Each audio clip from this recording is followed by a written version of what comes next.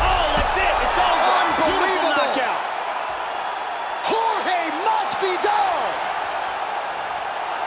what power that guy has in his hands.